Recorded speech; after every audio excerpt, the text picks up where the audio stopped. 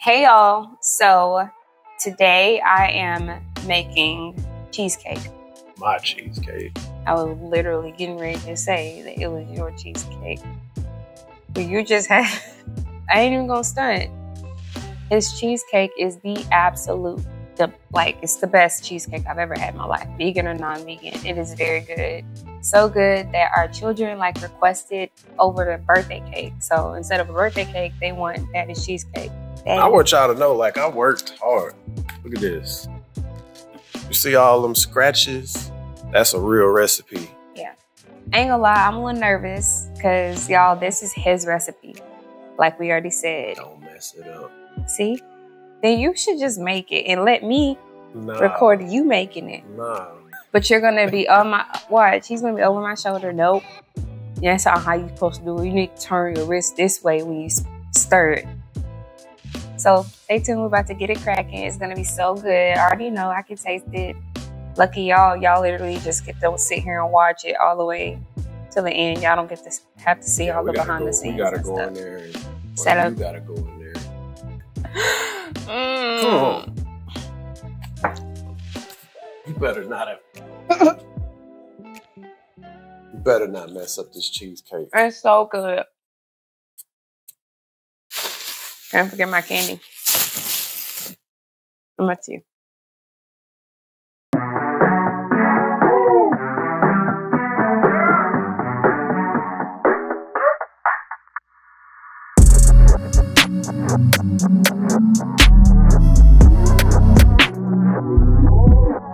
Okay, so I just combined the pecan shortbread cookie crumbs and I added the crushed graham cracker crumbs.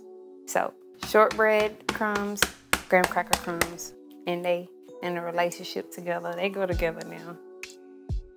Right now. Okay, and now I need to melt the butter.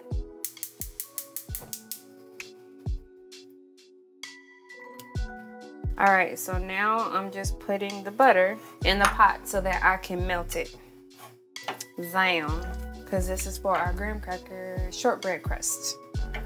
You do not want to burn your butter. You just want to melt it down. It don't need to brown, none of that stuff. So now the butter is melted. See that? I'm about to go ahead and add it to my cookie crumbs. All right, and I added the butter to the bowl of the crumbs of cookies. And it smells good, y'all. And it's just the graham cracker and the shortbread and butter. But look at that. And as I'm mixing it, I'm just mashing it in because some of the cookies are still very chunky. But with the moisture, it's gonna help them get smooth how we want it. Oh, it smells so good. One in there. I have a feeling I'm gonna be moving it around, so I'm not tripping on how accurate it is. I just need to get them in the pan.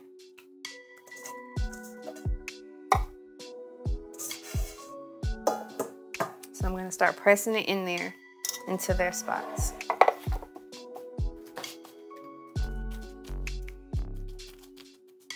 All right, so now we have our crust in there and it's pressed in really well.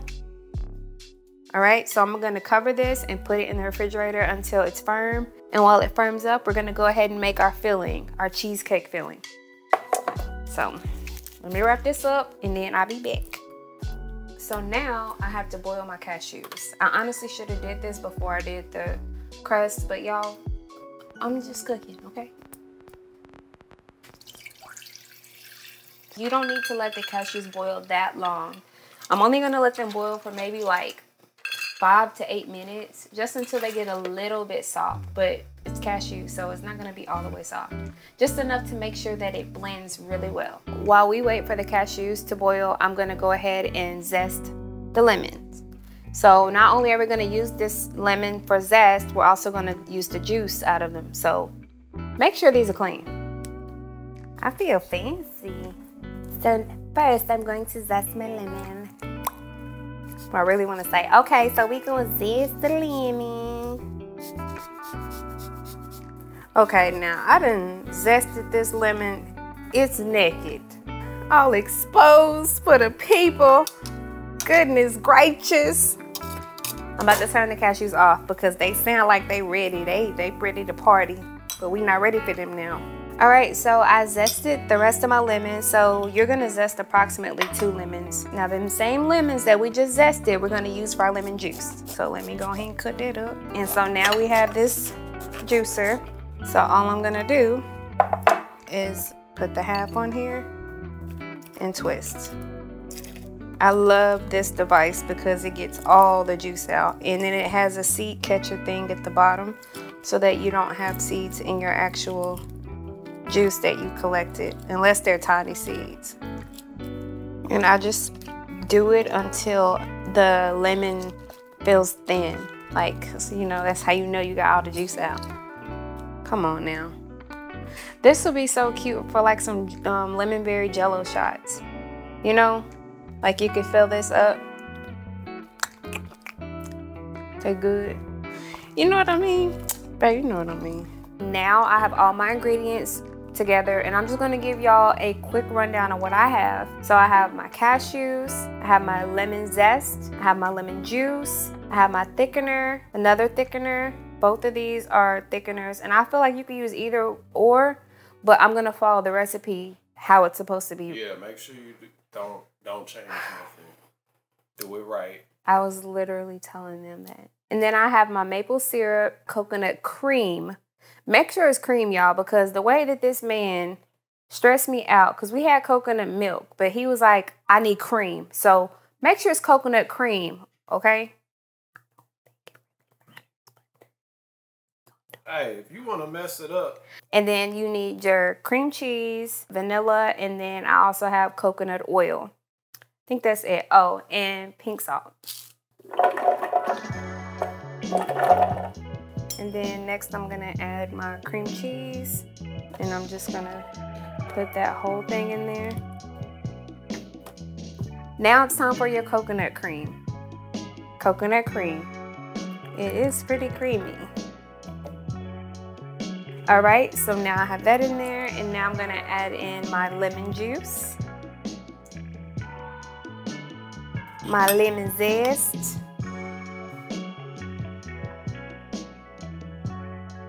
maple syrup. Ooh.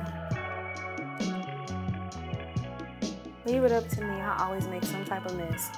Coconut oil before it starts to get thick again, like me. And now it's time for our vanilla. So I'm gonna add in the cornstarch and then the xanthan gum. And then it says a pinch of salt. Four. I feel like four is a pinch. All right, let's blend this up, y'all.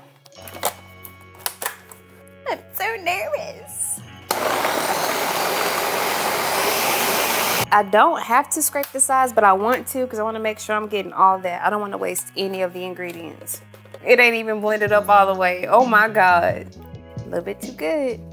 Might be better than yours. Now, if you want the full recipe, you can definitely join my community because I have membership now, you guys. So anything that I post and you need the full recipe because I'm not saying any measurements, right? Just telling y'all what's in there. If you want the full recipe, I'm gonna give y'all my Cash App and my PayPal, my Venmo. I'm about to turn this back on. Like the memberships, that's cool. Like, support Fineapple Vegan, but if you want to support your boys, all right, y'all, so I got it all blended up, super smooth. We tasted it, it tastes delicious. Let me show y'all how creamy this got. Cashews. Let me go ahead and get them in their spots. And as you can see, our graham cracker crust set very beautifully.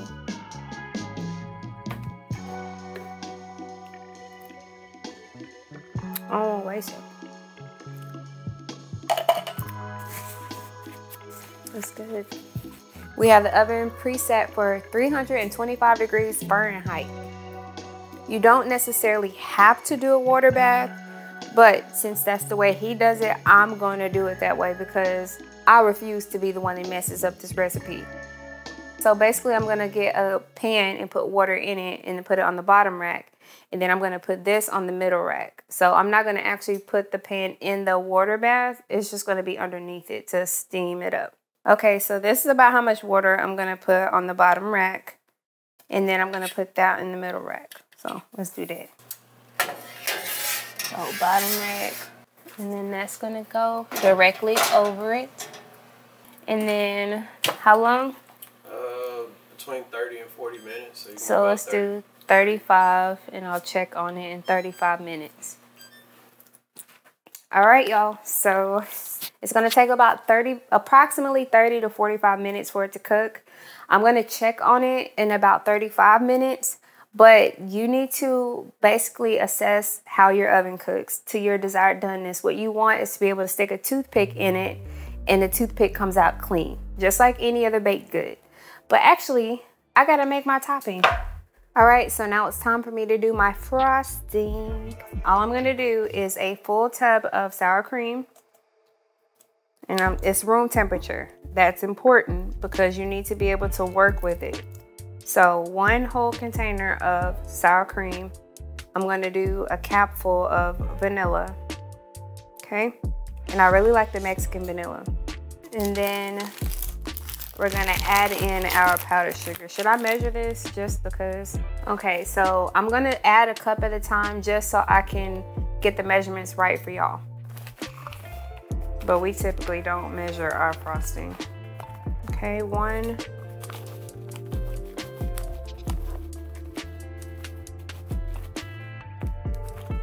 Two. I'm just gonna cream these together. Now you can definitely use a mixer for this, but I actually enjoy this process. Just be careful, don't be aggressive because I typically get powdered sugar all over me. I like to use the silicone spatula. I press as I combine it because the powdered sugar can have, you see how there was a lump right there? So I just press as I combine it. Try to get it smooth and evenly incorporated.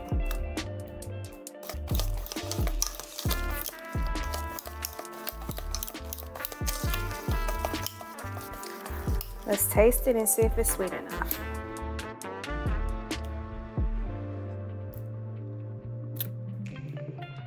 Mm-mm, not yet. Okay, so I'm gonna add another half a cup.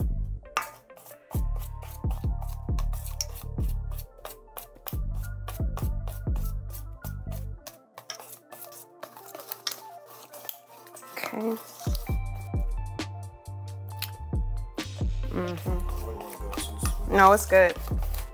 It's perfect. All right, so it's down to the timer and we cooked it for approximately 40 minutes, okay? So when it was almost finished, well, we did 35, yeah, because we did 35 first and I added an extra five minutes. So 35 minutes. Ooh. All right, so I'm gonna move it now to a cooling rack. That looks good, baby. They feel nice. Nice buoyancy. All right, so now it's time for our toppings. So first I'm gonna do the strawberries because they're easy to clean out of the pan. And all I did was wash them really, really well. And then I cleaned them lastly in warm water to get them soft. And then I got the middle out and I just used a straw. But I'm gonna start with my strawberries and I'm just gonna put them in a warm saucepan.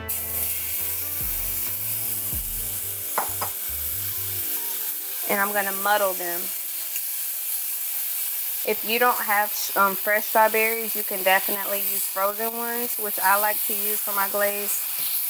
And as they start to soften up more, I'm gonna go ahead and add in my um, lemon juice, my fresh lemon juice.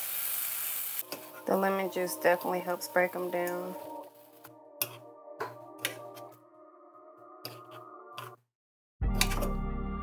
Okay, so I'm gonna go ahead and add in my, this is bone char free um, cane sugar. I'm gonna sprinkle that in there.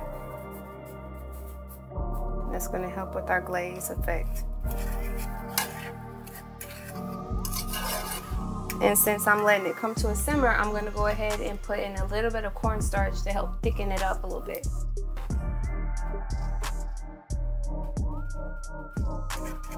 Just whisk that in really well. Let it come to like a like a low boil and then I'm gonna turn it off the heat because that'll it'll thicken as it cools. But it needs to come to a slight boil first, as you can see.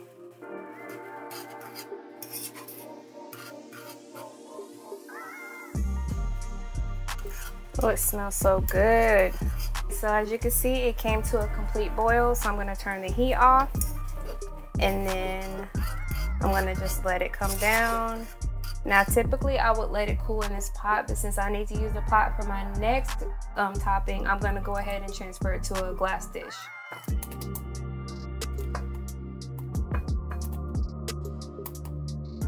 Okay, so I'm gonna let that cool, and then we're gonna get ready to do our pecan praline topping.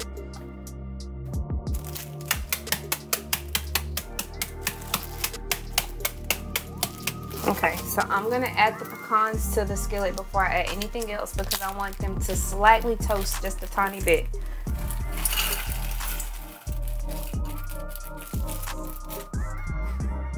Like move them around just for a second, literally not even a minute, y'all. Okay, so it's been less than a minute and now I'm gonna go ahead and add in my butter, my vegan butter. This is optional. I like to use the butter because it gives it that butter pecan feel and I like that. And then I'm gonna add in my brown sugar. And then you're just gonna stir as that sugar melts, the butter melts, it's gonna start caramelizing. All right, so this is basically turning into candy. So now I need to turn the heat off because I don't want it to get hard. I just wanted it to caramelize.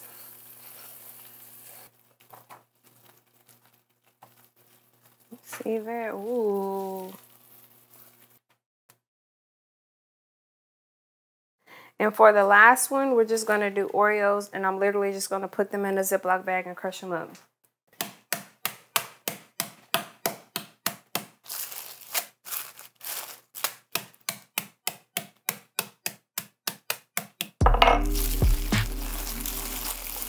And that's it for that.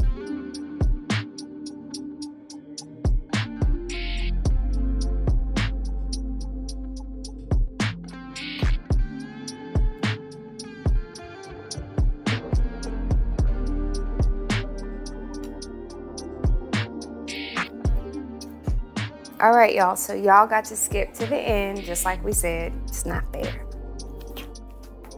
It's 1 a.m. We got them to settle. I went ahead and got them out of the um, pan. So what I'm gonna do, I'm gonna make three different types. So I'm gonna go ahead and put a base on each one. So the frosting is the base and all I'm gonna do is just put some on top and then smooth it around. I'm gonna do that on each one.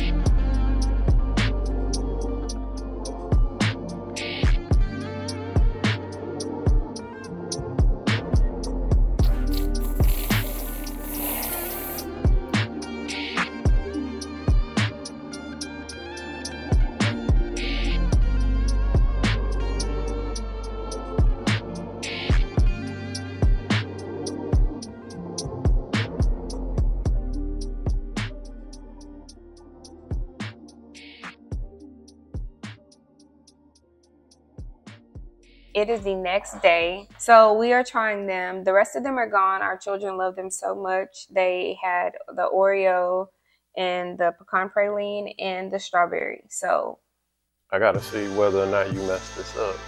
Oh. I don't know, man.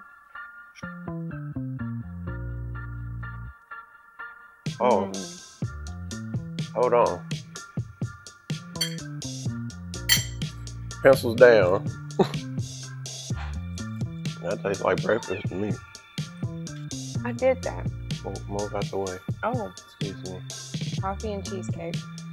I'm about to go to the gym, hmm so I can't stop. It's so good. Babe, did you taste that strawberry syrup? yeah. I've been softening it all up. it has the perfect amount of sweet and sour. Y'all hear that scrapage going on? Hold on, let me get, let me mix them together. Don't do it. Oh, shit. I don't think I can say oh shit. People do it all the time. It's a, it's definitely an oh shit moment right now. This is really good. I know. It's my recipe. I I made told you that. All right, y'all. So there you have it. Our cheesecake. Not wait, our cheesecake. Don't overcomplicate it. Put your own toppings on there. that. That's the game changer. Putting it in the smaller containers, um, the six pan containers, instead of putting it in a big pot because people have different taste buds and like how we were able to have three different toppings. So definitely let us know if you tried that out. If you like this video, give it a thumbs up. And if you haven't, go ahead and subscribe to my channel and click the notification button so you'll be notified whenever I upload videos. Thank you so much for letting me try your recipe. You're still making it from now on. No, I'm not. Nah, I make everything else. You can make this. nah I'm good. You know, I was serious. Y'all want to, you know, cash out your boy, Zelle, Venmo, PayPal. You don't have any of those. MoneyGram, Instagram, like any of the grams, send them to me. Oh my and, god. you know, I might let y'all have a recipe. Maybe. But that's it. That's all I got. Bye y'all. I'm trying to figure out how I'm gonna go to the gym now.